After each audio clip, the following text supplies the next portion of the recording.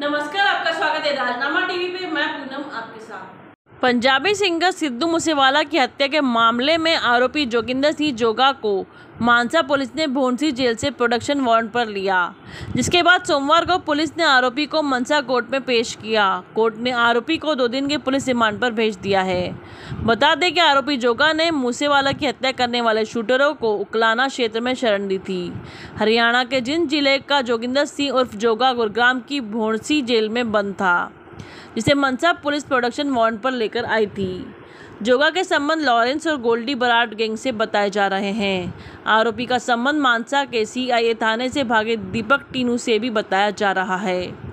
जोगिंदर सिंह उर्फ़ जोगा ने मानसा सीआईए से भागने की बात भी टीनू की मदद की थी।